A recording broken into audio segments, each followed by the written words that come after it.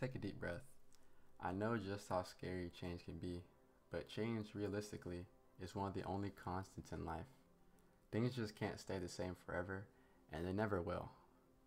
We correlate the idea of change with loss, which is literally what it is. You are losing an old way of yourself. Especially with change that is not in our control, it can just feel so unfair and like the world has it against us. You know, there's times I wish my best friend was here, or just upcoming this fall, I'm moving away from my family and friends for college. And as much as I can lie about it, I still am kind of worried. But the only choice we have is to embrace the idea of change because, because that is what we are. We are the definition of change as we are growing every single day. I'm sorry, and I know life isn't fair at all times, but you can't really have the good without the bad. The lows are what shape you and what make the highs high. I also want to say that change is not always bad. Change invites so many new opportunities and can help free you from monotony. You have the freedom to change almost everything about your life.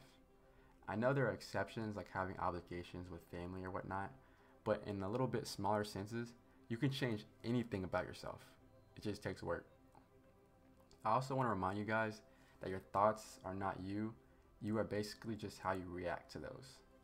And I want to kind of lay this out so you guys can grasp the basic idea. Your thoughts are at most points, you know, set in a pattern or kind of random.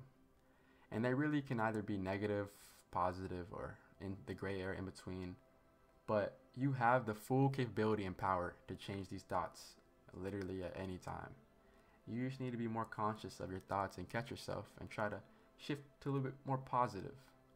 You know, for example, if your friend made a minute mistake, you wouldn't call them a failure or stupid. Well, maybe not to an acquaintance.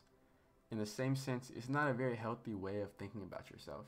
Being conscious of your thoughts is the first step and allows you to be in control of the few things you really can how you react to things and how you act.